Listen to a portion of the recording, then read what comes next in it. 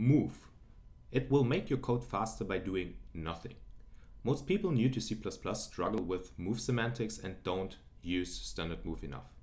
Let's have a look today at the power of move. We will see what it does, how it works, where to use it and where to avoid it. Hi, my name is Zen and welcome to my channel. I have prepared a small example for today. What we will see is how to use move and what it actually does. So what we're going to do here is create a string and this string here needs to be long enough to avoid small string optimizations as most of the standard libraries have implemented. And then we will have a look at where the data of this string is actually stored. So we will look at the data pointer of the string and output then afterwards the address by using uh, the ice cream command. What we will then use is a copy constructor to copy the string into a second string and also output the data address of that one. And then for the last one, we will move the first string into the second string and also have a look at the data addresses of those. So if we compile the program by using in this uh, uh, in this example Ninja, we compile the program and then let it run what we will see here is that the address of the first string or of the data of the first string where it's allocated on the heap is uh, some arbitrary number basically. However, the second address, so the string that gets copied, is different in address, but the third one is the same. So the data itself hasn't been touched by my string moving to my moved string, which means basically that your computer hasn't done anything. It has literally done nothing by using the standard move command. It has just given the same stuff a different name. This is also the reason why most C++ folks will say that uh, the name of standard move is actually a little bit bad because it doesn't actually do anything. Standard move doesn't move stuff, it leaves it exactly at the place where it's currently at. To understand how move does work, we need to know the differences between value categories in C++. After C++ 17, there are currently five different value categories. But uh, the important message here is you only need two of them to really understand what's going on we distinguish between L values and R values. An L value is, broadly speaking, something that has a name and can be referenced by name or by address or something like that. So for instance, here, this float, we call it in this here L value, we can store a value inside of this value. So this means that the value category of this is a so-called L value.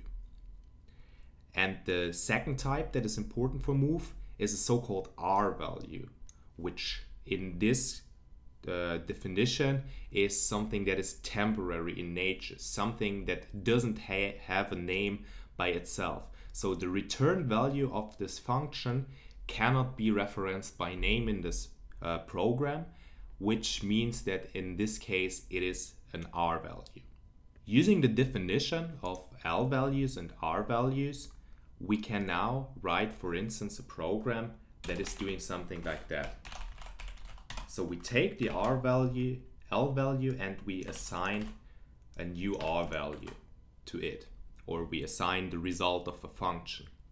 Now, what C++, what the language standard is doing, already at this point it is employing the so-called move semantics of C++, which means that this value that is coming out of the function won't be at, a, at a specific address and afterwards copied into the L value, but it will be directly created at the L value position.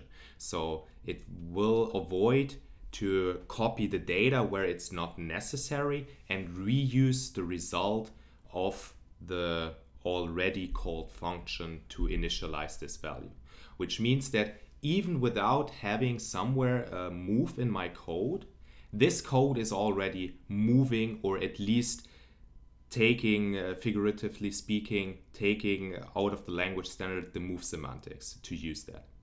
And it's already making the code faster. So the real reality is a little bit more complex because this is some special kind of return value optimization. But anyways, this is basically all you need to understand at this point. Now coming back to our original program, we see what we can do here using standard move.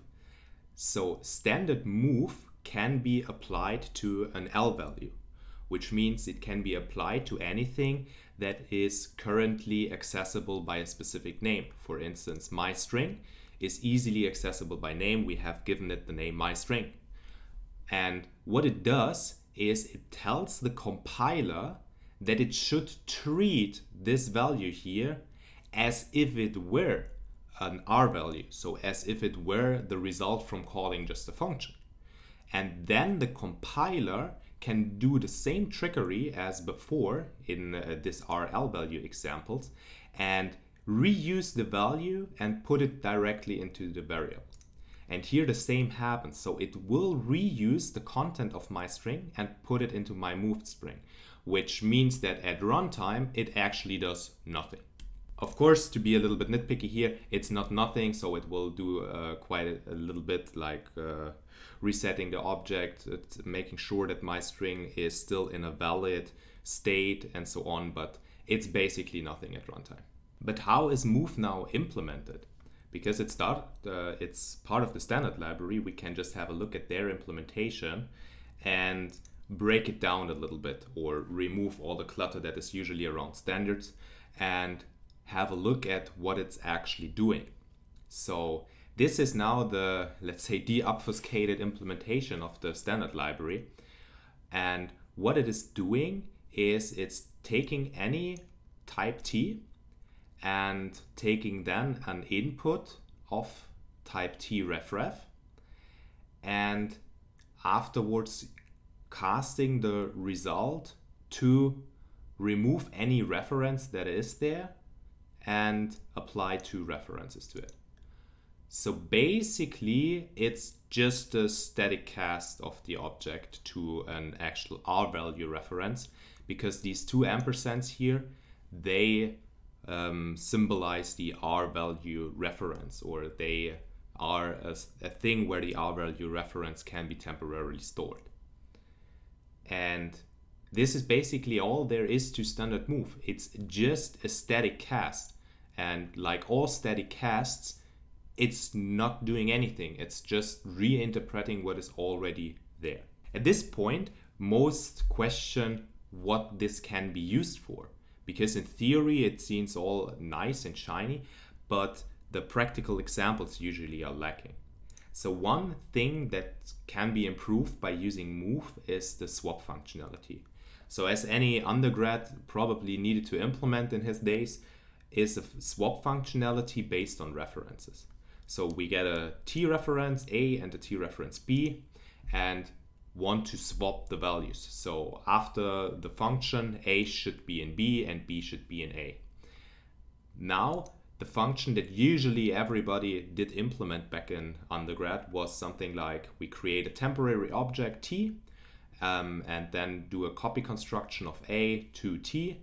Afterwards, we copy b to a and then we copy the temporary back to b. So here we have one copy construction, a second copy, and after that's a copy. So two copies in total and one copy construction. Now, this is the perfect use case that can benefit from using standard move. What we can do here is with using the same interface, also taking a reference A and a reference B, we can move construct the temporary object out of A. Afterwards, we can then assign A the current value of B, and then we can use the temporary object and create B. So here we have actually one move construction and two moves and we avoid paying the cost of any of the deep copy of the objects. And this is basically the benefit. So if now the object T here would be very, uh, very cheap to move, but very expensive to copy, then this has a big runtime advantage over using the usual or old implementation of swap. Because here we are not paying for all the necessary copies that we are paying for here.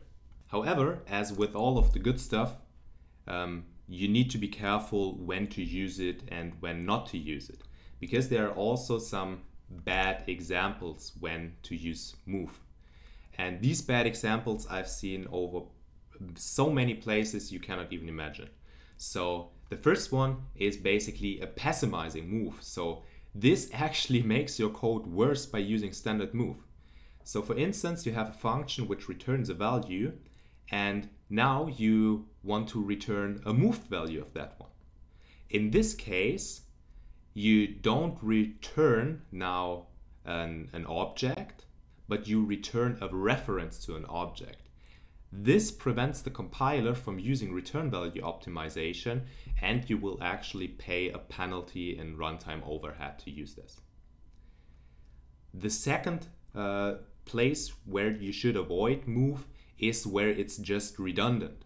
So the compiler or your code will anyways do already the move. So by you putting move additionally in the code, uh, you just clutter the code, make it less readable, and uh, you show that everybody who's reading code yet you didn't really understand what move is doing.